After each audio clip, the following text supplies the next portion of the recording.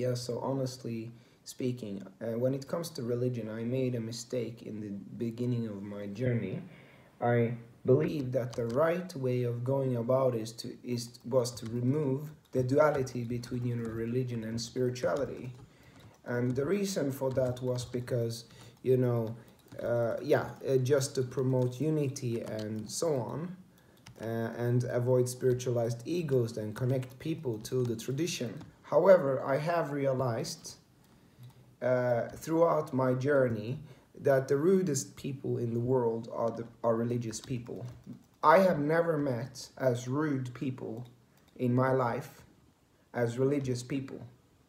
And that, that, that actually, that actually, uh, uh, uh, you know, is quite interesting. The most rude and the most hypocritical people I've met in my entire life are people who are very dogmatic about religion mostly Islam, but also Christianity.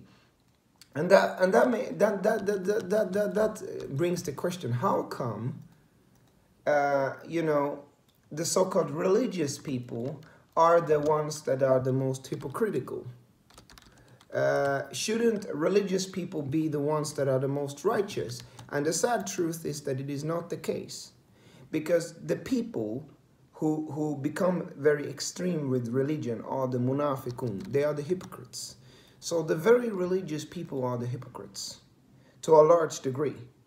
Um, because the hypocrite, uh, he does not have, he seeks to control and to deceive people. So therefore, through religion, he essentially uh, justifies his, him being an asshole to you. So Religious people justify them being assholes to you with religion. So when they put a religious masks on their bad manners and their rudeness and their uh, complete lack of respect, uh, that gives them a ticket of justification to treat you like shit. So religious people, which are hypocrites uh, to the most part, use religion as a mask to mask their uh, uh, their bad manners and their passive aggressiveness. Therefore, be very careful with people who are very, very interested in going deep into religion because that can that, that there are many, many, many hypocrites who who who do that for hypocritical reasons so that they can treat you like shit and you cannot argue against them. The nicest people I've met. Uh, I've met gamers that are very nice. I've met heavy metal people, metalheads that are really nice. I've met spiritual people who are very nice. I've met Muslim sisters who are very nice. I've met black people who are a mix of many different spiritual traditions who are very nice. I've met white people who are very nice, uh, Finnish, Swedish.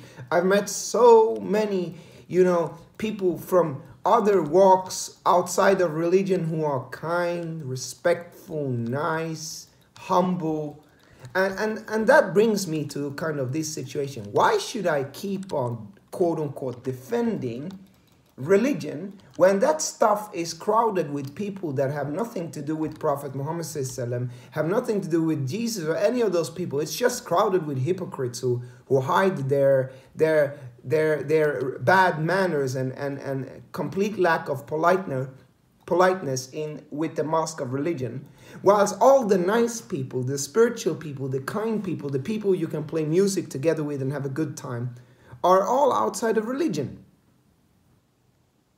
Allah knows best. Peace be unto you